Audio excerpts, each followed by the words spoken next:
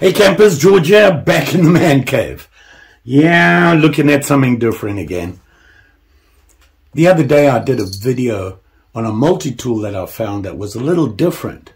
So I thought I'd go back and look again and see what I could find. And I actually found something. It's a little different. From American Buffalo Knife and Tool Company. It's a ranch hand multi-tool. Hey, let's check it out.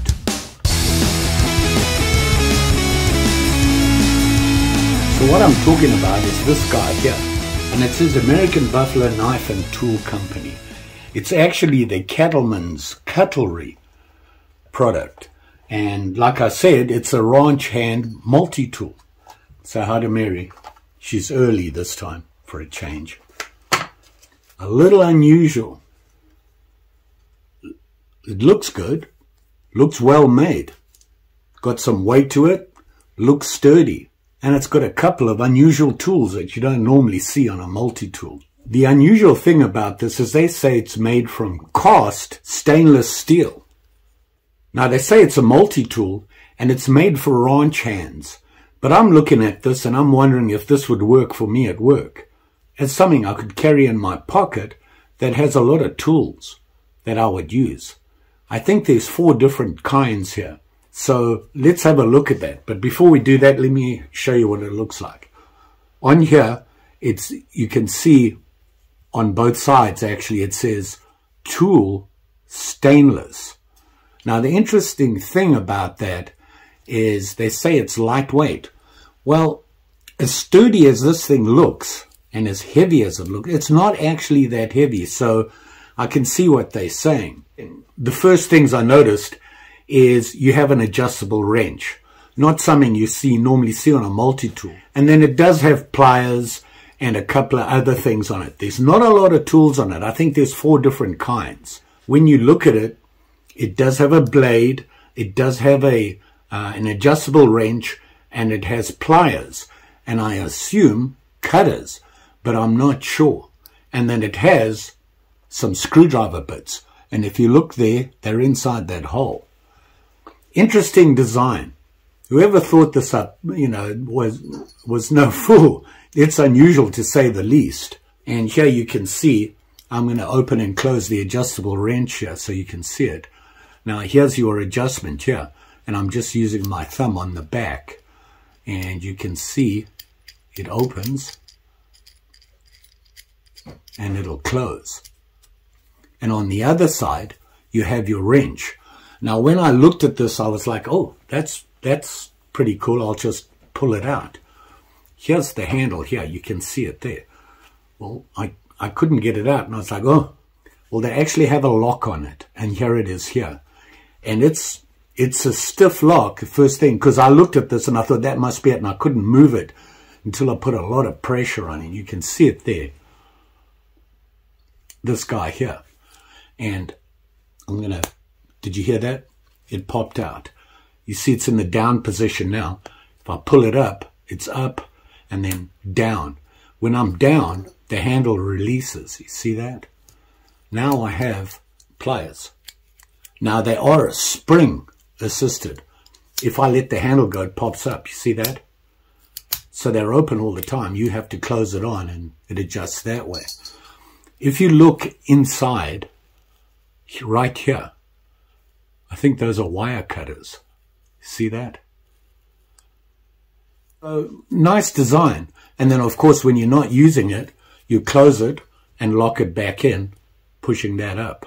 Now it's locked back and you can use your wrench. Then I was looking at it and I was like, okay, uh, pretty cool.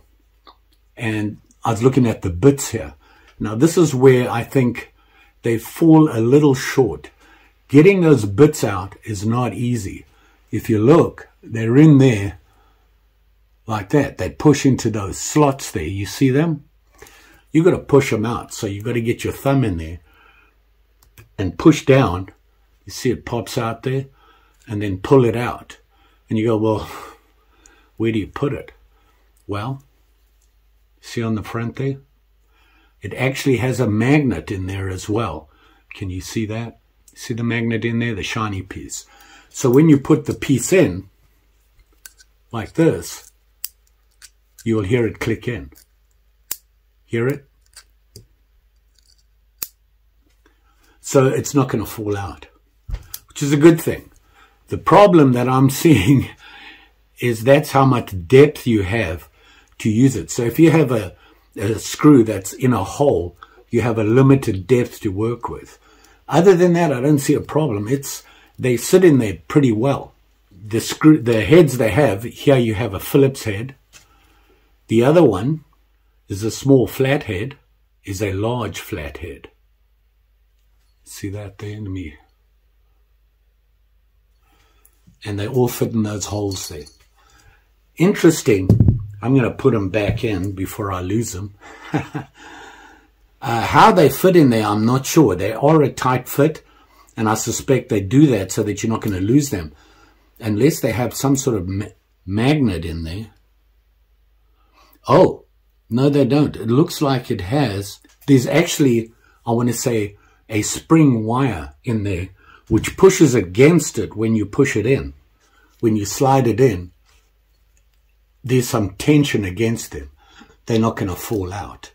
Now you can push them all the way in and they sit in there just like that. Thought it was pretty cool. Now the other thing that they have, obviously there is a, a pocket clip here, so go in your pocket. I wouldn't put it on your belt um, it would be nice if they had a, a leather sheath. You could probably find one that it would fit in. Now, if you're wondering about the knife, the knife blade is here. You see that? It's got a thumb stud on it.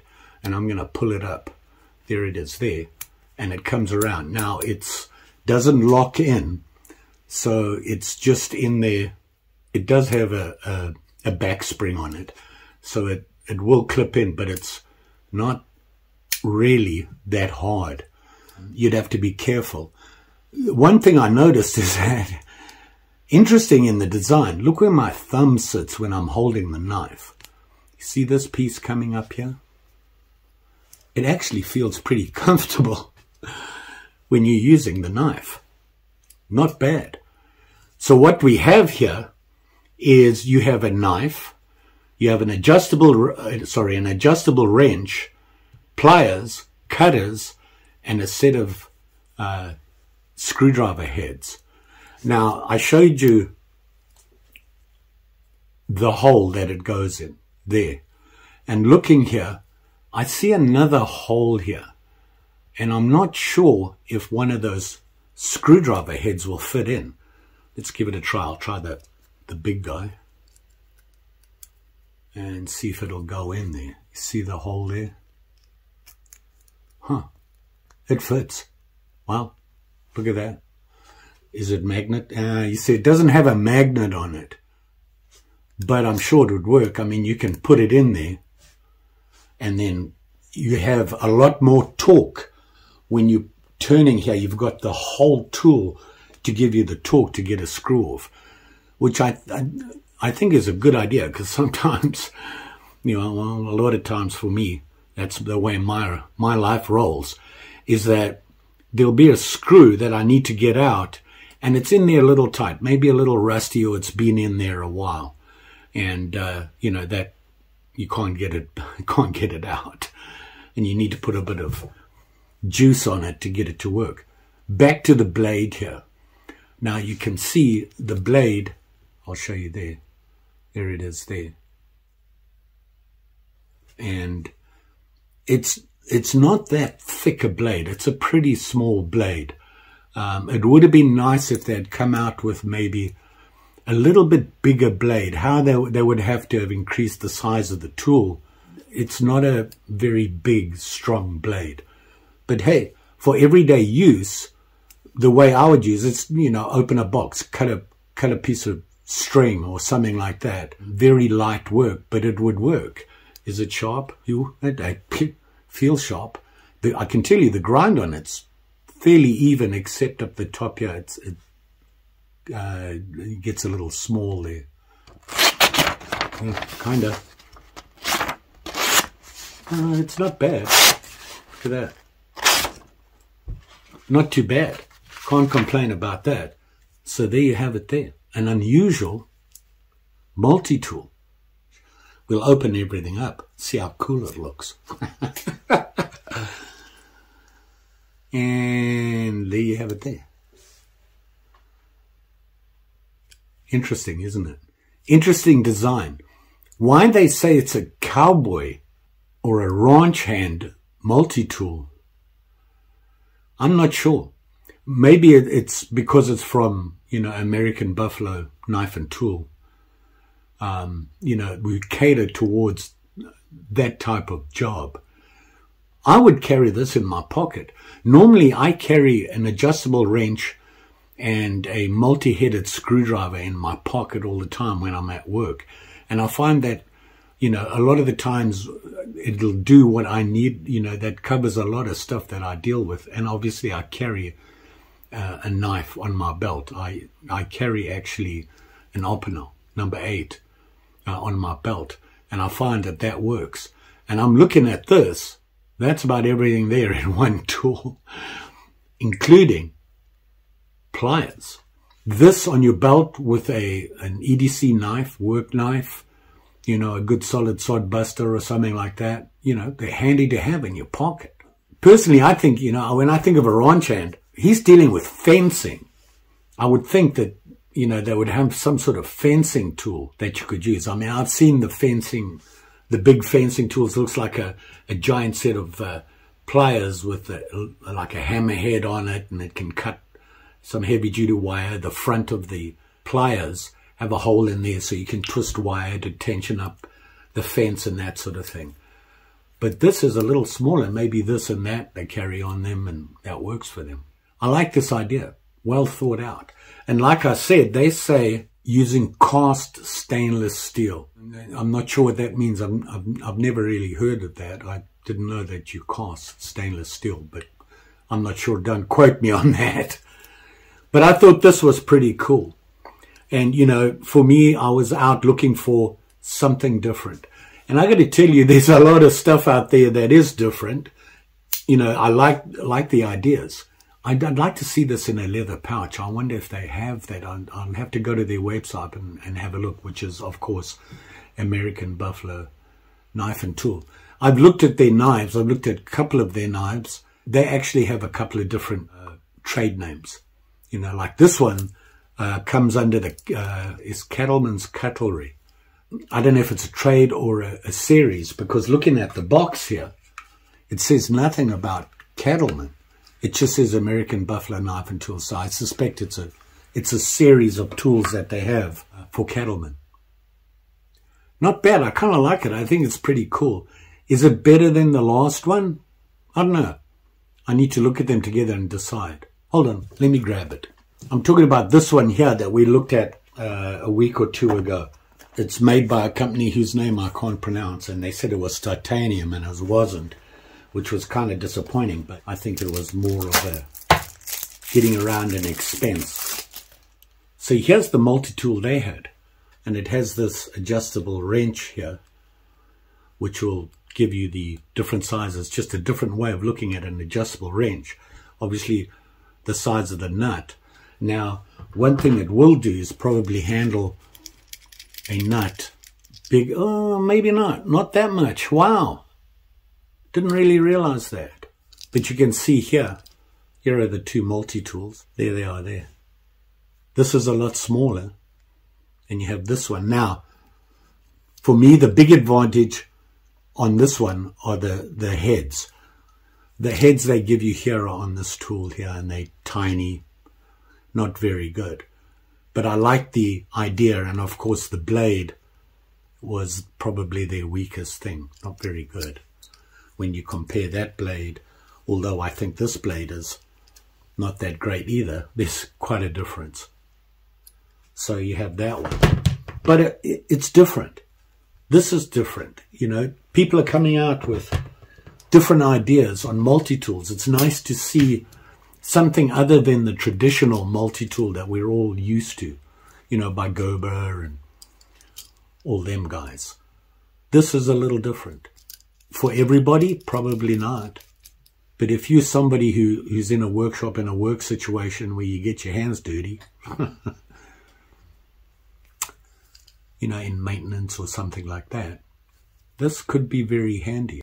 But I think a pouch, if they have a pouch, and I'll look that up, and I'll, I, if I find one, I'll, I'll, in fact, I'll put a comment below if I find one with a link to the pouch. But I suspect no.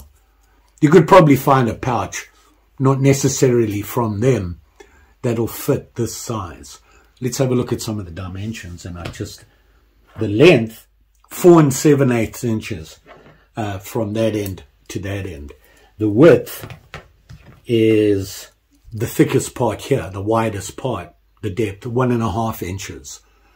Uh, how big this opens up to, I'm not sure. Uh, I can give you a, a rough estimate here. Uh, you can bring this the whole way out. Not sure if I like that. They should have locked that in somehow. Um, it, I unscrewed it all the way.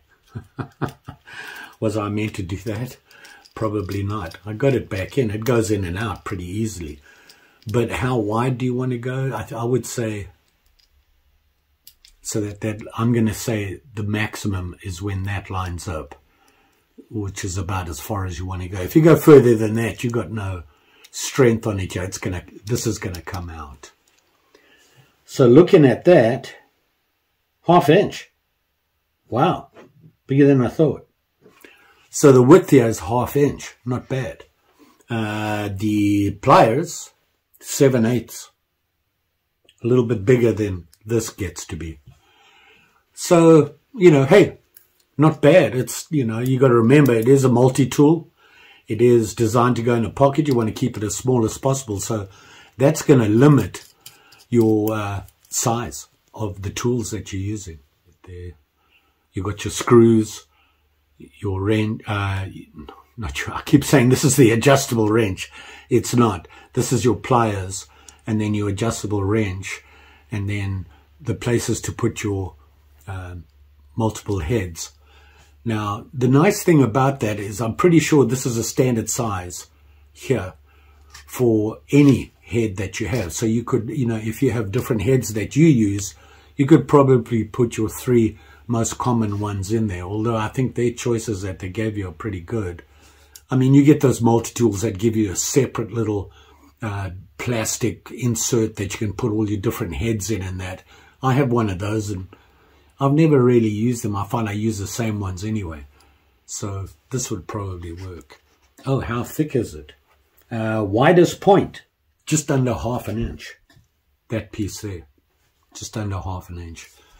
It's got all this stuff on it, which is like jimping.